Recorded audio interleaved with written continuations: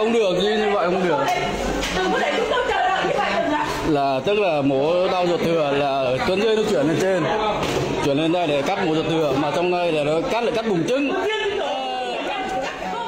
Đau ruột thừa đau bụng như vậy nọ kia rồi chuyển lên trên trên rồi qua vào khoa mổ. Giờ cắt mất bùng trứng. Thưa quý vị, liên quan đến đoạn video clip ghi lại vụ việc người nhà bệnh nhân đến Bệnh viện Đa khoa Bình Dương phản ứng vì cho rằng bệnh viện cắt nhầm buồng trứng dù chẩn đoán viêm ruột thừa.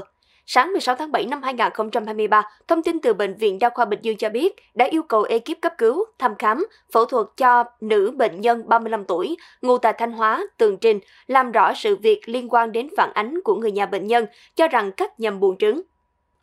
Lãnh đạo Bệnh viện Đa khoa Bình Dương cho biết, bệnh nhân nhập viện lúc 15 giờ 15 phút ngày 11 tháng 7.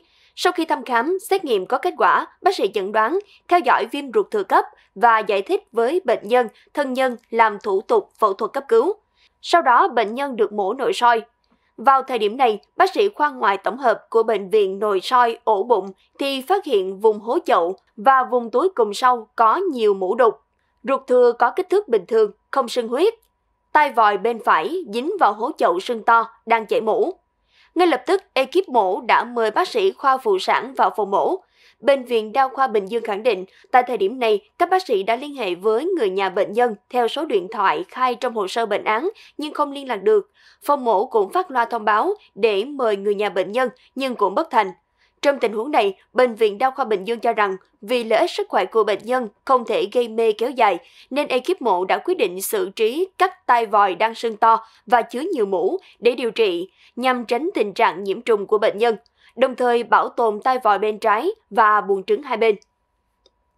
Bệnh viện thông tin rằng sau khi mổ, khoa phụ sản đã có trao đổi, giải thích tình trạng bệnh và việc điều trị cho bệnh nhân cũng như thân nhân bệnh nhân. Hiện tại bệnh nhân đã bớt đau bụng, vết mổ khô, sức khỏe đang dần ổn định, tay vòi bên trái và buồng trứng hai bên vẫn trong tình trạng bình thường. Bệnh viện Đa khoa Bình Dương cho rằng do không liên hệ được với người nhà bệnh nhân và thời gian cũng như tình huống khẩn cấp nên phía bệnh viện không thể trao đổi kịp thời và giải thích tường tận về tình trạng bệnh khi có thay đổi phương pháp điều trị với thân nhân bệnh nhân nên đã gây ra những hiểu lầm, bức xúc cho bệnh nhân và thân nhân. Bác sĩ làm ăn như vậy hả? Không được. Mổ ruột thừa mà không thấy ruột thừa. Vậy là cách làm ăn sao? mà ai biết được mình mời ai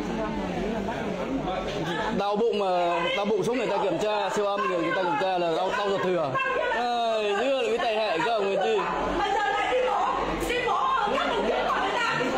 cái này chết không người chứ nọ kia siêu âm là chuyển lên trên là coi như sơ sót đây bác sĩ làm vậy chết qua sự việc này, Bệnh viện Đa khoa Bình Dương cho biết phía bệnh viện đã kiểm điểm rút kinh nghiệm. Các bác sĩ cần phải giải thích chi tiết, rõ ràng, dễ hiểu, tránh dùng các từ ngữ chuyên môn sâu với người nhà và bệnh nhân, cũng như tránh những hiểu lầm, gây lo lắng, bức xúc cho bệnh nhân và thân nhân. Bệnh viện Đa khoa Bình Dương gửi lời xin lỗi chân thành và sâu sắc đến bệnh nhân về trải nghiệm không tốt này. Báo Thanh niên sẽ tiếp tục cập nhật những thông tin liên quan cùng các tin tức mới nhất tại địa chỉ thanh niên.vn cùng kênh YouTube Báo Thanh niên. Kính mời quý vị đón theo dõi.